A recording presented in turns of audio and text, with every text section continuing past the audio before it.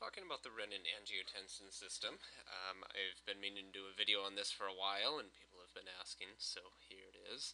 Um, first off, the whole point of the renin-angiotensin system is to increase the blood pressure. So it's going to start when your blood pressure is decreased for some reason, and there could be a number of reasons that you have a decreased blood pressure. Um, and, and you can pick any one you'd like, doesn't matter to me. Um, but uh, you have a decreased blood pressure, uh, renin-angiotensin system kicks in, and the end result of it, hopefully, is an increased blood pressure.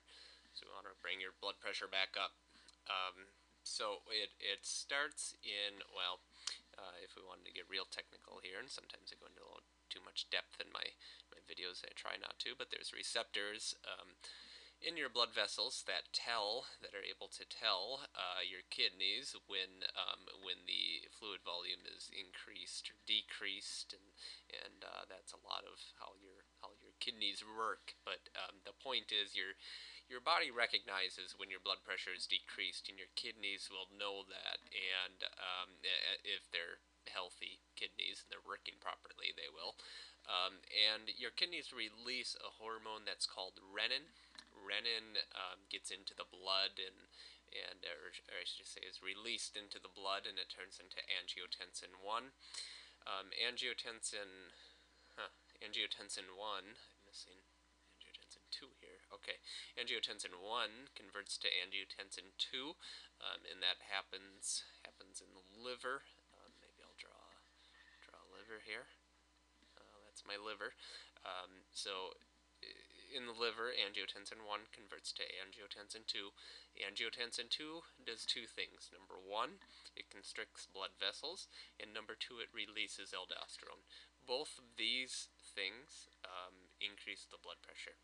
And um, constricting the blood vessels is a pretty pretty simple concept, but in case you're you're not sure of why that is, um, just think about think of like plumbing in a building. Have a bunch of pipes and going all over the place, and um, and uh, you have a certain amount of water pressure in those pipes, and um, let's let's say that okay, so this is those are the pipes, and this is the water going through the pipes, and let's say um, one day we had to replace all the pipes, and so we replaced all the pipes with with thinner pipes. They they weren't as wide as the old pipes were for for who knows what reason. They were cheaper, maybe that's why. But so let's say we replace all those pipes, and uh, we still have the same. Uh, let me try to find the same color. We still have the same amount of water pressure coming or the same amount of water coming through those pipes. So the, the pressure of that water is going to increase. Same applies in the body. If you have more fluid um, fluid in in your body, blood pressure is going to increase. Or if um, you have the same amount of fluid, but the blood blood vessels are constricted, um, blood pressure is going to increase. So, so that's that's why constrict constricting blood vessels will increase the blood pressure. The other thing is the aldosterone. Um, aldosterone is a hormone that's re released from the kidney, from the from the kidneys, I should say. Um, aldosterone um, retains sodium. I'll write that down here. It retains sodium, so um, it keeps sodium in the body, and along with sodium comes water. Um, so not only are the blood vessels constricted now, but there's more fluid being retained. Um, so if you have more fluid in the tank, um, you have more, you have an increased blood pressure.